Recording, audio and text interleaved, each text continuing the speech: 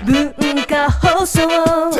おはようテラちゃん。今朝のこの時間は鎌倉女子大学教授医師の木下博勝さんにお話を聞きます。木下先生おはようございます。よおはようございます。ろしくお願いいたします。よろしくお願いします。さてコロナ禍でおうち時間が増えてですね疲れ目に悩む人も増えているようですパソコン、スマートフォン、まあ、こういう動画視聴ですとかオンライン会議画面と向き合う時間が長くなって疲れ目に悩む人が増えています。木下先生画面見続けるとなんで目って疲れるんですかね？そうですね。ええ。この目の周りええ。にこう筋肉があるんですけれども、ええ。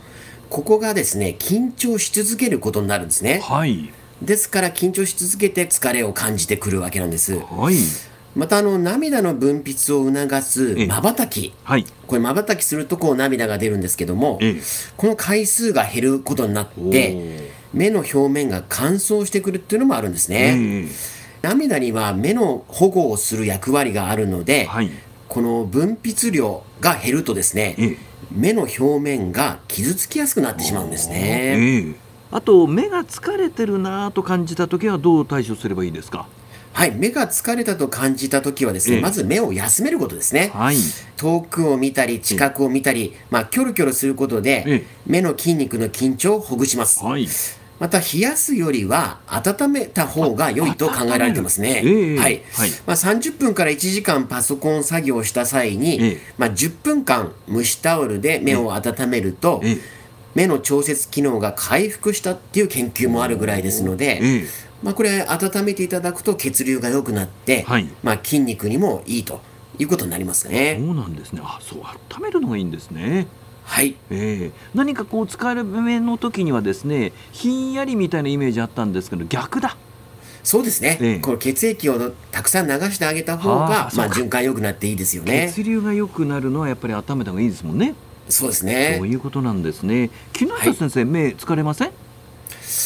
そうですね、あんまり気がつかないんですよね。ええあのー遠近療養にしてから調子いいですね。ああそう眼鏡を。はい。いろいろと工夫されてますね。もう老眼がね。ええええ。私もそうですから。はい。一緒一緒。よかったよかった、はい、さあそれではですね今朝のテーマいきましょう。こちら。新型コロナウイルスワクチン妊婦への影響は妊婦の方が新型コロナウイルスワクチンを接種しても流産のリスクは変わらず安全だというデータ木下先生こういうものが示されたそうですね。そうなんですね、ええ。この CDC アメリカ疾病対策センター、はい。こちらがですね、今月11日に妊婦に向けた新型コロナウイルスのワクチン接種について、まあ、流産のリスクは通常と変わらず、はい。安全性を示すデータが確認できたと発表しております。はい。まあ、CDC の研究グループが妊娠から20週以内にファイザーかモデルナ製を接種した、はい。およそ2500人のデータを分析したところ、ええ。接種していない妊婦と比べて流産のリスクに差は見られませんでした、はいまた副反応に関しても妊娠していない人と異なる症状は確認されませんでした、はい。まあ、その上で妊婦に対して接種を受けるよう改めて求めていますね。そうなんですね、はい。あと日本産科婦人科学会などもアメリカのこの CDC と同じ見解示しているようですね。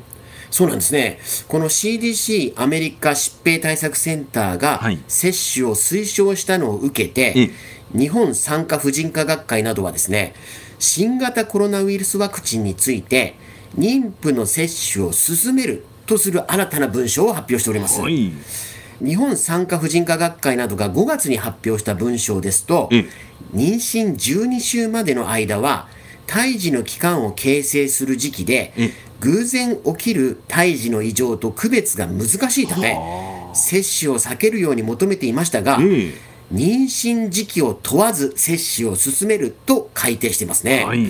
またですね、妊婦が感染する場合の約8割が、はい。夫やパートナーから移っていることから、夫らにも接種をお願いすると、こういう呼びかけもしております。あー8割があのパートナーもしくは夫からそうなんですね。やるってことなんですね。はい。えーこれ逆にですねワクチンを接種しなかった場合というのは妊婦の方には何かリスクってあるんでしょうか？はい、妊娠後期に感染した場合の重症化のリスク、はい。それからそれに伴って子どもの早産のリスク、この2つがありますね。はい。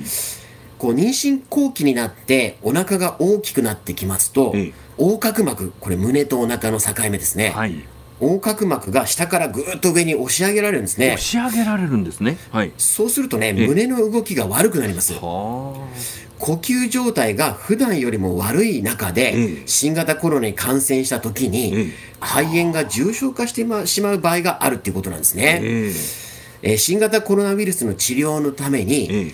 安全面に配慮して赤ちゃんを早産させる場合まであるんですえね。そうなんですね。またですね、ええこれ授乳中のワクチン接種に関してもですね、ええもう発表がありまして、はい。生育医療研究センターのホームページにありますように、えワクチン接種後の母乳へのワクチンの移行はい。について調べた研究では、母乳中にメッセンジャー RNA は検出されなかったと報告されています。はい。また多くの赤ちゃんで問題は見られなかったとの報告もあるので、ええ授乳中のワクチン接種も問題ないと、こういうふうに発表してますね。そうなんですね。あー今回はその妊婦への影響というのはよく分かりました。でも、はい木下先生、ジャガークリニック、埼玉新都心ジャガークリニックをおやりになってると、やははいりいろんな質問って来るんですか？そうですね、非常に多いですね。ええその新型コロナウイルスワクチンに関しても。そうなんですよ、ええワクチンのことも本当に多いです。あの、陰謀論を信じてる人もいますね。いまだにですか？いまだにいるので、えもうあとはね、もう自分で決めてもらうしかないんですよ。そうですか。じ情報は提供しますけど、ええ決めるのはご自身ですよと、ええこういう説明してますね。でも大体の方が木下先生に質問すれば、ああやっぱりそうなんですねで納得してくれるんじゃないですか？あ全員そうですね。そうでしょ今までの方はそうでしょそれを聞いてもやらないという人はいないですね。そうでしょう。まあそりゃそうだなとは思いますけど、はいやはりね木下先生にお墨付きが欲しいって方が結構いらっしゃるんでしょうねい。やいや、まあ僕というよりは、まあ医者のですね、ええ意見を聞いてという方が多いんじゃないでしょうかね。ええまあ、これからも世のため人のために先生働いてくださいよ。いやいやだ、だけど僕よりもやっぱり今、あのコロナの治療ええで最前線にいる方々が本当に大変なのでねええ、僕なんかは何もしてないようなもんなので偉そうなこと言えないです。はい。今朝は鎌倉女子大学教授医師の木下博勝さんにお話を聞きました。木下先生ありがとうございました。どうも失礼しました。